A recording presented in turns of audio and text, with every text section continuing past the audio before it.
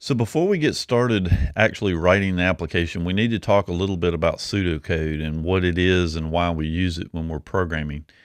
So when we when we sit down and start writing code, it's a it, it can get fairly complex because we're jumping between code that we're writing, functions that we're developing, um, we're googling we're researching so we're we're jumping all over the place trying to figure out exactly how we're going to write this application. And in addition to it it's something that you don't want to have to go back and completely unravel something that you started down one road and now you've got to turn around and go down another road because you didn't think about something.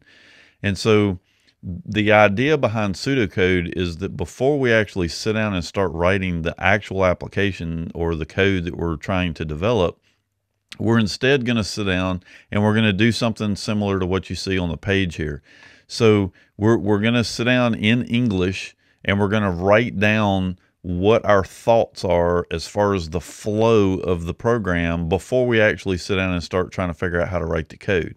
So it allows us to kind of think through the process think through the the different scenarios that may come up during the the flow of this program that we're developing. And and hopefully if you do a good job and eventually you get better and better at writing pseudocode but hopefully if you do a good job you won't have to stop and try to figure things out later on. You'll you'll already have the flow down and then the only thing that we're trying to do is to actually put the code in there to execute that flow.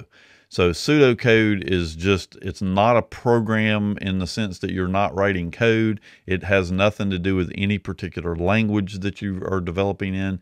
It's strictly what what is the problem? What what is my possible solution to that problem? And what's the flow going to be in order to accomplish it?